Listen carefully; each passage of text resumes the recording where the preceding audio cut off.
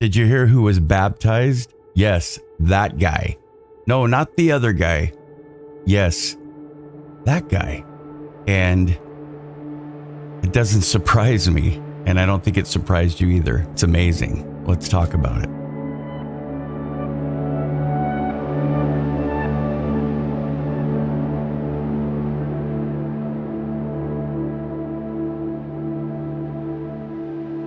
Okay, brothers and sisters, welcome back to the program. I thought I would do this little ditty here, this little video here, and I'm not trying to steal the thunder from uh, David Boice, but I am I'm happy.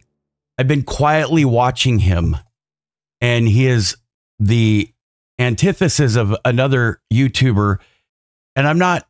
I don't mean anything negative about the other YouTubers. As a matter of fact, I have a different idea of of who that guy is, but that's a whole different thing, that guy. But let's talk about David. So I'm not trying to steal the thunder from David. He just put out a video, David Boice, and I've been quietly keeping an eye on him for a little while. He is the antithesis of someone else, but I'm not getting into that because I have a different um, I've changed my views on that a little bit, and I'll tell you why. And it's more more Christ-like than I have been in the past. So, hi everyone. I am a super uber thrilled to share something. I am super uber happy to be with you right now. Absolutely amazing. So it's David's journey is uh well, it's both inspiring and I would say very moving. Um, like I said before, I've been quietly following this incredible person, David Boice, um, on his spiritual journey for quite some time now. Um, from the beginning, off and on. It's just interesting that out of all the 52 churches, and I was pointing this out to someone that uh, that he embraced the church. Is it surprising? No, and I'll tell you why. From the beginning, I had this strong feeling that he was one of those special souls, the those the very elect of God you could see it in his countenance. And I know a lot of you had the same feeling. I do not believe it's a coincidence that he uh, began to flourish at the same time other YouTubers that have talked about the church have. Uh, and you can you could see it in his countenance. You could feel the sincerity coming from him. So from the beginning, I felt that way, and I know a lot of you did too. Uh, that he is one of the elect who was just ready and prepared to embrace the gospel. And guess what? He did. David's story is not just any story, it's a testament to the power of sincere seeking and the beautiful unfolding of truth in someone's life. Among the many voices on YouTube exploring faith and spirituality, David has always stood out. The other David as well, David Alexander stood out to me as one of the most genuine seekers of truth coming out of the Protestant church um, on YouTube. Uh, or the Protestant movement, I guess you could say, or Catholicism as well. Um, ex- exploring faith and spirituality. It's definitely his sincerity. It's his openness to understanding and his heartfelt quest uh, that have always resonated with me. And now to see him take this significant step, he was just recently baptized, and I'll leave the link to his video. Um, so for him to take this step in his spiritual journey, I don't think it surprised many. I mean, think about it. He went to 52 churches, 52 faiths. And if you look at the the the YouTube thumbnail, it's it's different from the others. I, I see something in the way he looks, and he says mind blowing uh, for a Protestant uh, to convert and embrace the teachings of the Church of Jesus Christ of Latter day Saints. I know that fills all of our hearts with so much joy and excitement. But here's the thing David isn't alone on this journey of discovery.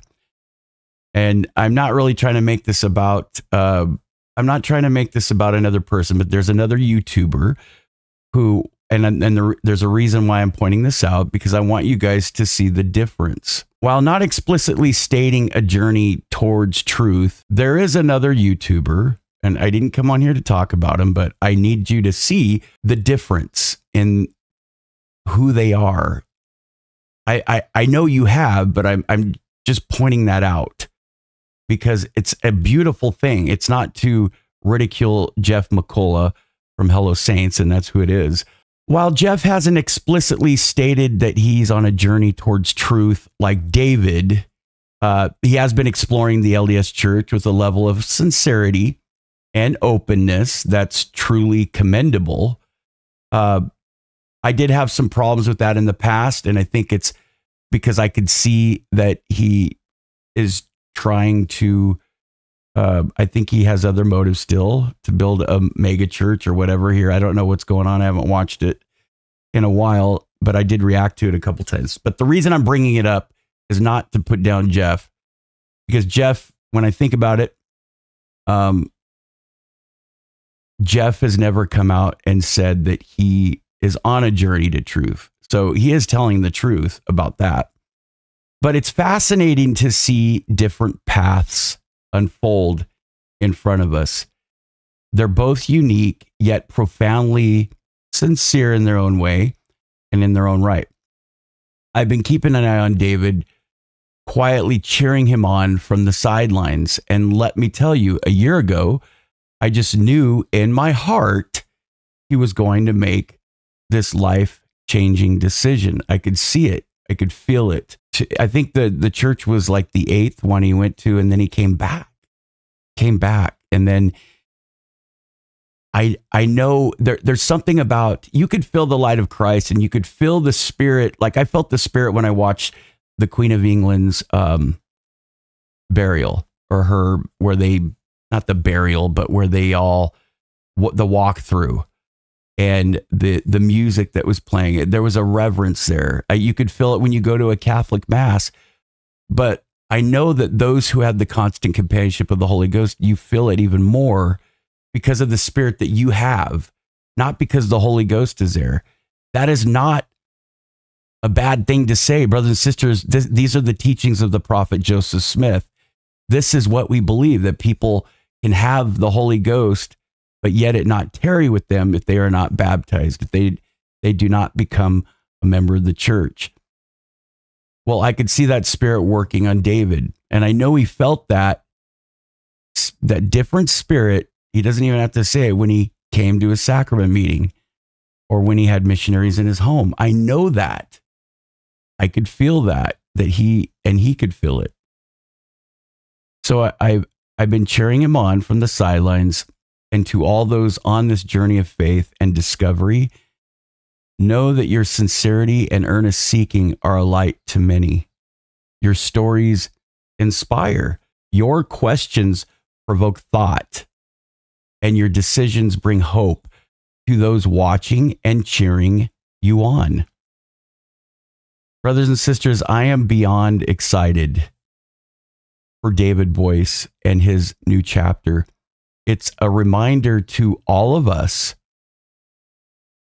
that the journey towards truth, towards understanding, toward faith, and and to the waters of baptism eventually is a deeply personal and transformative uh, decision and journey. Let's celebrate David's journey. I I would continue to watch him and keep an eye on him and see how this evolves. He, uh, you should go watch that video that I watched today. It's it's very informative because it's not just about the destination, brothers and sisters. The purpose of God is to bring to pass the immortality and eternal life of man. It's not about the destination as much as it is gathering Israel and sharing the gospel of Jesus Christ. We all have different gifts, we all have different talents, spiritual gifts and spiritual talents.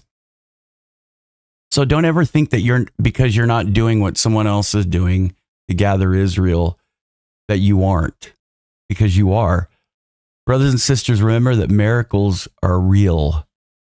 The miracle of the Holy Ghost, the miracle of knowing that the gospel is true, the, the miracle of, of of knowing these spiritual gifts of of being one of Heavenly Father's elect, like David Boice, who whatever made him elect. I believe that what makes somebody the elect of God is not that God chose you. You chose to be chosen. He chose to be chosen. It's what we seek. We were the valiant, noble, and faithful before we came. And tomorrow I'm having Joel Skousen on to talk about what's going on in Israel. Um, so pray for those who are on both sides of that horrible, horrible event. The questions we ask, the answers we find, and the growth we experience along the way is what matters. Brothers and sisters, please remember conference. Read the conference talks over and over again. I really feel that General Con- he's been doing this for how long? I think it had General Conference probably gave him some spiritual momentum. I wouldn't doubt. Probably generated some spiritual battery uh, and reminded him of who he was on this earth. He saw the Christian tenets. He was trying to find the church that existed anciently and he found it. So here's to David, who's sincere seekers of Jesus Christ, and to that journey of faith and ultimate discovery of truth. Brothers and sisters, keep seeking. You're not done yet. Keep letting your light shine before men and glorify your God which is in heaven, and always stay true to your covenants. Much love and excitement for what's to come. And I will leave the link to the video, and it it is entitled I Got Baptized My Bizarre LDS Conversion Story. Here's to you, David.